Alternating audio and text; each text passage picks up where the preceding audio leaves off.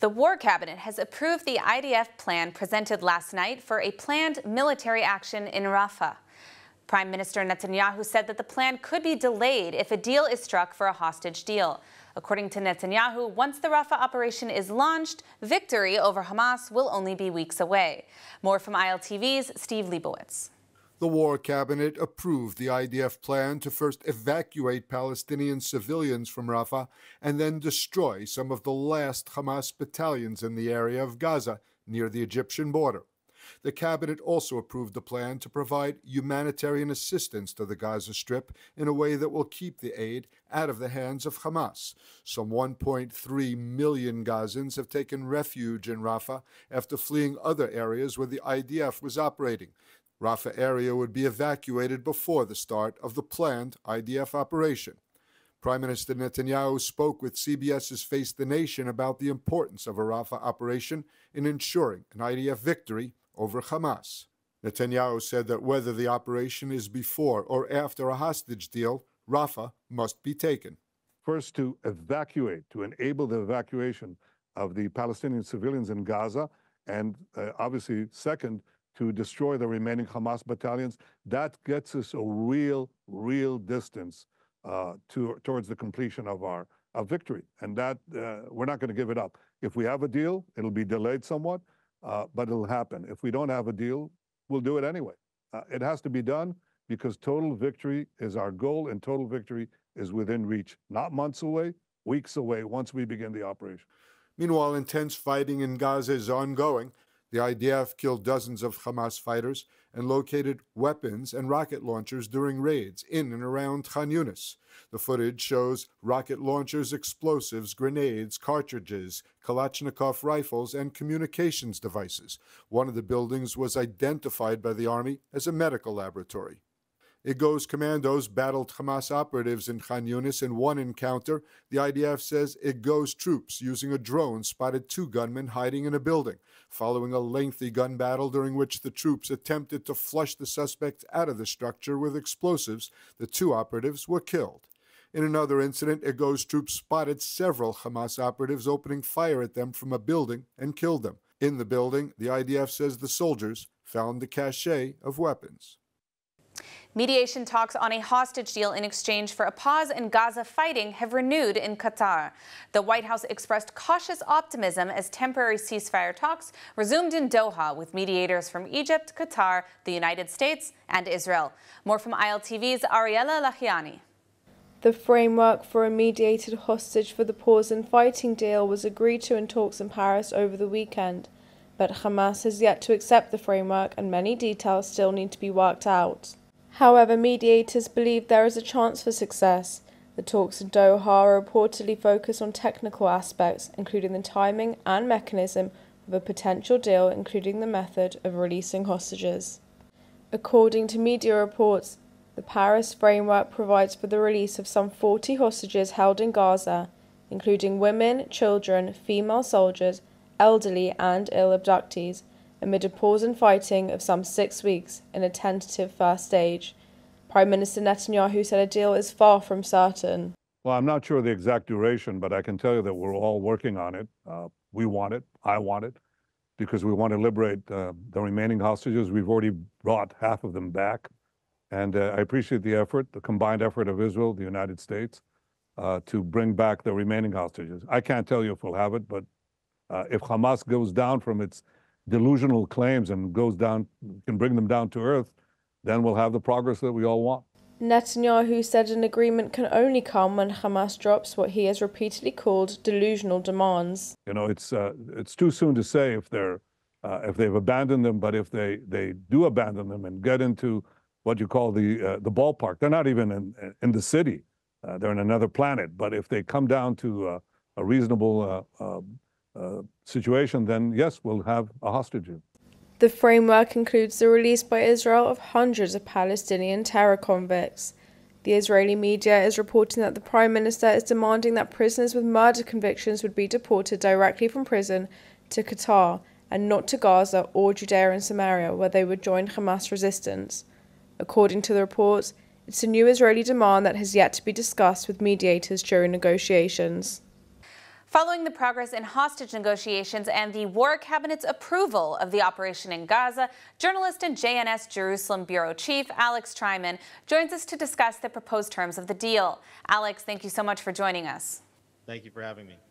I'd like to start off by asking you what your thoughts are on the proposed hostage deal. Does it have the capacity to be a good deal? And should murderers be released even if they are sent to Qatar? Well, the government is looking at a way in which they can get hostages back. Uh, the three hostages have come back through uh, military operations, but 110 hostages came back earlier through negotiations. Israel's believed that by putting immense military pressure on Hamas, they could get uh, terms whereby they'd be willing to negotiate. And it looks as though there may be a window where Israel could get back up to 40 uh, of its hostages uh, through a, a six-week period of temporary ceasefire, which would mean that there would be no fighting in Gaza during the Islamic holy month of Ramadan, uh, and there would be the release of prisoners. Uh, and I think that Israelis have understood that uh, trading prisoners uh, in exchange for hostages, unfortunately, while that means negotiating with terrorists, has been uh, historically one of the most effective ways of getting hostages back. A lot of the pressure to make a deal has been rooted in a desire to pause the fighting for the Muslim holiday of Ramadan, something that has been brought up repeatedly.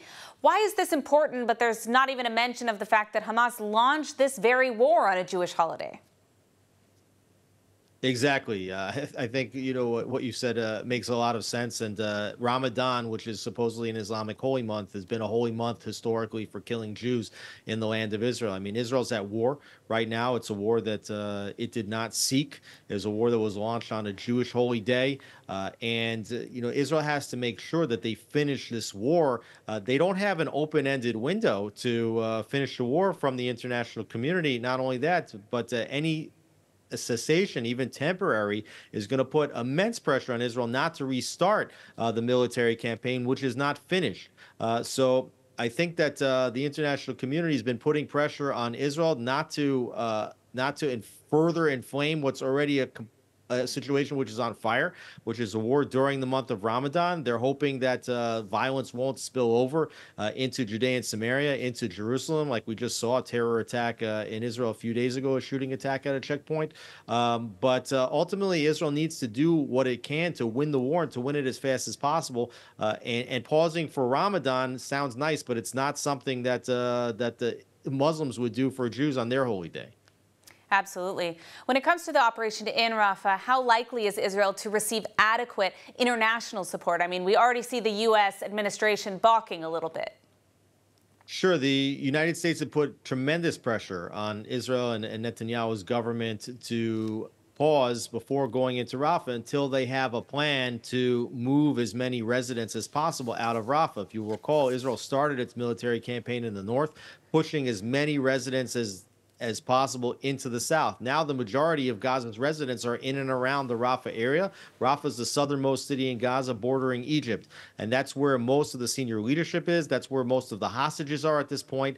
Uh, now, obviously, Israel's tried to reduce the number of civilian casualties in the war. The problem is that uh, if Israel makes arrangements to allow for civilians to escape the war zone in Rafah, what will likely happen, as we saw already with the humanitarian corridors in the north, is that senior leadership and hostages will be smuggled out of Rafah using these very uh, tools that are supposed to be uh, reserved only for civilians. So it makes life much more difficult. But if Israel wants to have the support of the United States, they've had to present this credible plan to reduce civilian casualties in Rafah. Well, Alex Traiman, thank you so much for joining us today and for sharing your insights. Thank you so much for having me. Going forward, Defense Minister Yoav Gallant stated that Israel will increase its strikes on Hezbollah and will not stop, even if there is a pause in fighting in Gaza. Gallant added that the IDF will not adhere to a unilateral Hezbollah ceasefire as it did during the November pause in Gaza fighting. ILTV's Steve Leibowitz reported on the Northern Front. Visiting the IDF Northern Command, Defense Minister Gallant said Israel will increase its strikes on Hezbollah in response to its daily attacks on northern Israel. Gallant said that even if there is a pause in fighting in Gaza, the IDF will continue pounding terrorist positions in Lebanon.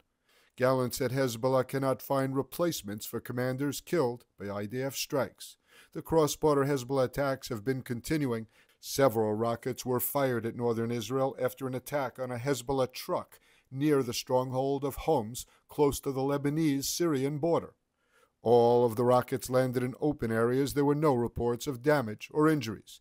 Shortly after the strike, the Iranian backed Lebanese terror group Hezbollah announced that two of its operatives were killed.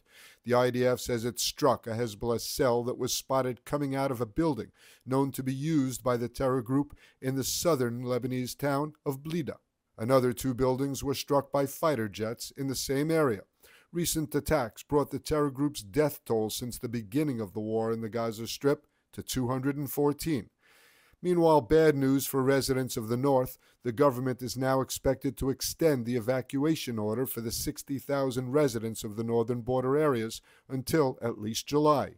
The Prime Minister's office is reportedly considering to push that date even further until August, raising expectations for a war against Hezbollah this summer.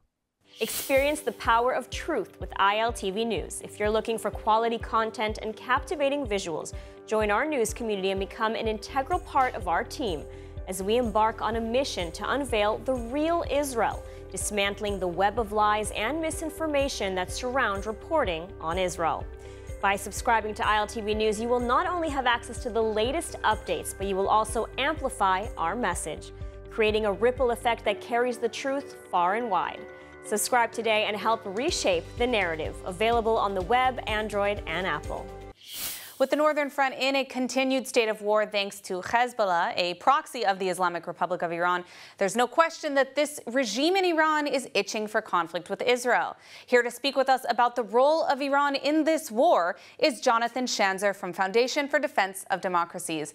Jonathan, thank you so much for joining us today. Just to start, we've seen continuous low-level escalation on the Northern Front with the proxy of the regime itself, Hezbollah. Is Iran just biding its time in this conflict? It's a good question, Emily. I think we're trying to figure out exactly what the intentions of the regime are right now. Just to be clear, what's happening in Lebanon is not a low-level conflict. I mean, they, we are talking about hundreds and hundreds of attacks, including some direct hits on Israeli military targets. And so the Israelis are now uh, attacking deeper and deeper into Lebanon itself, taking out strategic assets belonging to Hezbollah. And that all begs the question what does Iran want? Is Iran trying to activate Hezbollah so that there is a second front that Israel has to fight alongside what's going on in Gaza? By the way, that doesn't even get to the attacks that we've seen against American forces uh, by Shiite militias in Iraq and Syria, and of course, what the Houthis are doing in Yemen we call this the ring of fire strategy. And that is clear. This is what the Iranian regime has activated. They have definitely deployed that ring of fire. But I think there are questions now about whether this is all designed to destroy Israel, right? Where they're trying to can, you know to carry out attacks continuously from all angles, or whether this is a distraction from something much more insidious, which would be, of course, the uh, the a dash to a nuclear weapon. And right now, it's very difficult to discern what's what. Now, do you believe that there is a, a wide-scale plan on the part of the Iranian regime to commit further massacres, similar to October 7th, whether against Israel or, or against the Western world, and, and what can be done to prevent it? Well, for sure, I think the capabilities are there as it relates to Hezbollah, the so-called Radwan forces that are active primarily in southern Lebanon. Uh, this has been the fear of Israel since October 7th that Hezbollah could carry out an attack similar or perhaps even worse than what we saw on October 7th at the hands of Hamas uh, and their uh, and, and, their ground forces. So that is something that we continue to watch. The drone attacks and the rocket attacks by the Shiite militias, I think, may be the extent of it as we see their ability to attack the West. But I would argue that what we're seeing out of the Houthis right now is potentially even more worrying than any of the above because what they've done is they've shut off uh, the shipping lanes in the Red Sea. There are reports today of attacks on the communications cables between uh, the Middle East and Africa, which is now having an impact on Europe as well. Um, this is having a significant economic impact and, of course, the security impact that has forced the US, the UK, the Israelis, and others to get involved. Now, when it comes to the Houthis, as you've mentioned several times, we've seen some disturbing demonstrations, even in the West, of people chanting in support of the Houthis. Now, we know the Iranian regime has been very active on the cyber front as well. Do you see this activity as something connected to the Iranian regime in any sort of formal way? Or is this more a war of information that, that Iran is waging through media and social media in order to advance the interests of the regime? I think it's both. I mean, to be honest, we can see an information operation that the Iranians have been running since day one, uh, where they're trying to pull together what they would call their axis of resistance in the media space, right? Not just the terrorist groups that they coordinate, but also all the different, uh, you know, uh, supporters uh, and backers of the regime, the Islamists around the world. By the way, Muslim Brotherhood, which is the largest Islamist group in the world, they're pretty much behind the regime in Iran, uh, despite those sectarian differences, despite that Sunni Shiite divide. Uh, and so, what they're trying to do right now, from what we can tell, is to organize uh, with one voice all of this opposition to Israel and to the United States while also coordinating the violent activities of these groups. And they're getting that support on college campuses, on Main Street America, in European capitals. And obviously, they're doing a pretty good job of it. And it's, uh, it's real cause for concern. So Israel and the U.S. have both struck Iranian targets throughout the Middle East, in particular in, in Syria and Iraq. Are these strikes sufficient to deter the regime? And if not, what must the, the Western allied countries will say, what must they do? Well, it's a good question. I mean, actually, since the uh, Iranian proxies out of Iraq were able to successfully target three servicemen in Jordan, the U.S. announced that it was going to respond. And then it did and took out a number of targets associated with both militias in Iraq and Syria. And since that time, we've actually seen uh, a quieting of both fronts, which I think is actually a very positive sign. I'm not sure that it's going to last in perpetuity. I'm fairly certain we're going to see these two proxy fronts heat up again. There's about a dozen and a half different uh, Shiite militias aligned with Iran, and the odds of them staying quiet are quite low. But I think the bigger question is how do you deter the Houthis, right? They're the ones that continue to carry out the more serious of these attacks. And what I think all of this shows is that the regime has multiple tools that it can deploy against the West, against Israel, against the wider forces of the region in favor of stability and pragmatism. And right now, the U.S. seems to not have a lot of answers. The Iranians seem to be dominating this space. And uh, even with the curbing of some of that violence out of Iraq and Syria, it looks as if we've lost control of the region. And this is a major concern for the United States. Well, Jonathan Schanzer, Foundation for Defense of Democracies, thank you so much for your insight. Have a great day. Thanks. You too. Disturbing scenes from Washington, D.C., where a man identified as Aaron Bushnell, 25, self immolated outside the Israeli embassy in protest of what he called the genocide in Gaza.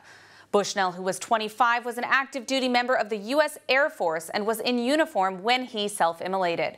He's reported to have died of his injuries. Bushnell recorded himself walking to the embassy, stating what he was about to do, and then shouting Free Palestine before setting himself on fire. Israeli security rushed to the scene with fire extinguishers and called an ambulance to treat him. Bushnell was rushed to the hospital but later died of injuries sustained in the incident. A video of the ordeal was live streamed by Bushnell on Twitch and subsequently shared across all social media. After Brazil's President Lula made incendiary comments about Israel, the Brazilian people are responding and showing their support for Israel. Let's take a closer look. Tens of thousands of Brazilians took to the streets in Sao Paulo for a rally in defiance of Brazilian President Lula's comments comparing Israel's war against Hamas to the Holocaust. Lula's comments were harshly condemned, and Israeli Foreign Minister Israel Katz summoned the Brazilian ambassador in response, taking him to Yad Vashem and demanding an apology from Lula. Former President Bolsonaro, a staunch supporter of Israel, attended the rally in Brazil where he was seen waving an Israeli flag in solidarity. Many of the attendees were his staunch supporters. Bolsonaro has come under fire in the past year after losing the election and is currently being investigated by federal police for his role in the attacks on government buildings by his supporters following his election loss. Many of his supporters believe this election was stolen. Nonetheless, six blocks of Paulista Avenue were filled with his supporters yesterday, approximately 185,000 attendees, with thousands of Israeli flags clearly in sight to send a strong message against Lula's anti Israel policies. Among the signs visible in the rally were those that read Brazilians want to tell the Jewish people that we are sorry. CNN Brazil reported that 83% of Brazilians polled strongly disagreed with President Lula's anti Semitic comments. While Bolsonaro is ineligible to run for office again until 2030 due to his convictions of abuse of power, his supporters remain extremely outspoken and active, including on the issue of Israel. Well, even as Israel battles Hamas in Gaza and Hezbollah on the northern front, democracy doesn't wait. Tomorrow, municipal elections will take place throughout the country. Let's take a closer look. Israeli municipal elections are finally taking place after two postponements due to the war. Tomorrow's elections will select mayors and local council heads in 197 municipalities and 44 local councils. Over 24,000 candidates are running for public office on 4,500 party slates. However, of the 801 candidates for mayor, only 83 are women. Voters will cast ballots for both the head of the regional council of their choice as well as a council slate. In the case of cities which have been evacuated due to the war, both in the north and south, special elections will be held nine months from now on November 19th. Some 180,000 Israelis who have been displaced will be eligible to vote in the November 19th election. All other municipalities will be chosen tomorrow by 7 million eligible Israeli voters, including nearly half a million votes away from their respective municipalities due to the large number of soldiers serving in Gaza and on the northern front. Due to the security situation, the Israeli government has prepared to conduct security evaluations every two hours, and in the event of escalation, could even halt the election and postpone yet again to a later date. Just as in national elections, Election Day is a holiday in Israel in order to encourage Israelis to head to the polls. However, turnout is hard to predict this year given the security situation. Coming tomorrow, ILTV's new show, Viewpoint, in which we take you inside the Israel Gaza war to hear from stakeholders, thought leaders, and decision makers. Our premiere episode will be tomorrow and will feature renowned author and journalist Douglas Murray. Douglas has been a leading voice throughout the Israel Gaza war, having spent weeks speaking to survivors, former hostages, IDF officials, and even Prime Minister Netanyahu. Douglas has also been one of the most outspoken voices of sanity in the international media when it comes to the extreme accusations lobbed against Israel. Tune in tomorrow for the exclusive interview. And now let's take a look at the weather forecast. Partly cloudy skies are expected around most of the country tonight with lows of around 6 degrees Celsius or 45 degrees Fahrenheit.